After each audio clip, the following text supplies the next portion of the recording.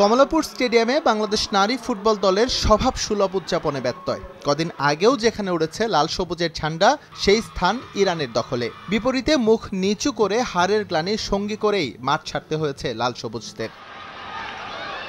Do or die ম্যাচে বাংলাদেশ সেদিন শুরুতেই ব্যাকফুটে অধিনায়ক শামসুন নাহারকে হারিয়ে। ইঞ্জুরির কারণে তার অনুপস্থিতিতে মাঠের লড়াই যেমন পিছিয়ে ছিল স্বাগতিকরা, তেমনি পেছনে ছিল মানসিকভাবেও। তারপরও সাহস সঞ্চার করে আক্রমণাত্মক ফুটবল খেলার চেষ্টা করেছেন রিপা, স্বপ্না, আকলিমারা।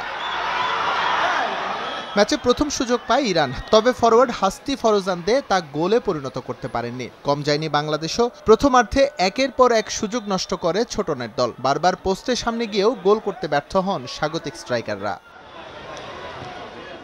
গোল করে ম্যাচের নিয়ন্ত্রণ নিতে কম চেষ্টা করেনি ইরান, তবে তাদের প্রচেষ্টাগুলো বারবার মুখ থুবড়ে পড়েছে দক্ষিণ এশিয়ার সেরা গোলরক্ষক রূপনা চাকমার কাছে। বিরতির পর খেলার গতি কমে আসে কিছুটা, তারপরও দু দলই করেছে কিছু বিক্ষিপ্ত আক্রমণ।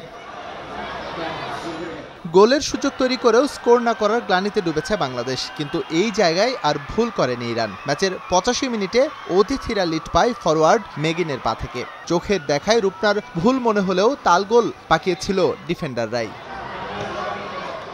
যেখানে ড্র করলে দ্বিতীয় পর্ব নিশ্চিত হয়ে যাবে ইরানের, সেখানে এগিয়ে গিয়ে আরও নির্ঘাত তারা। অন্যদিকে পাহাড় সমচাপ বাংলাদেশের, যে চাপ সামলে আর ম্যাচে ফিরতে পারেনি স্বাগতিকরা। ফলে আরও একটা এএফসি এশিয়ান কাপের বাছাই লাল সবুজদের শেষ হয় অঙ্কুরেই। এস এম ইকবাল, সময় সংবাদ, ঢাকা।